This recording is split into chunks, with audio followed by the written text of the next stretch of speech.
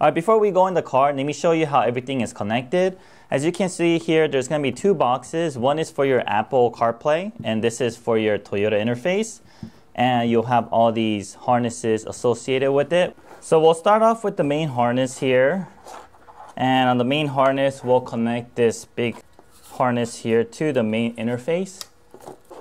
And then, if you look, there's also this connector that just has two wires on it, black and red. This connects to your Apple CarPlay interface.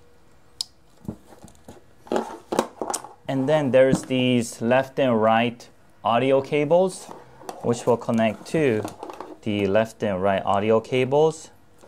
And this 3.5 millimeter cable goes to the side that also has the HDMI cable in here. And then we'll go ahead and connect the HDMI cable. The other side goes to the Toyota interface. And then we have the, the USB extension. This is where you plug in your Android or your Apple phone. And then next to that is going to be your microphone cable. We're going to have a new microphone that's used for your Apple CarPlay. And after everything is connected, you also notice that we have some extra wires.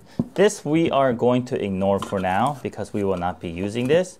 And this is uh, an option that might be available in the future, but for now we have not programmed it into this interface over here.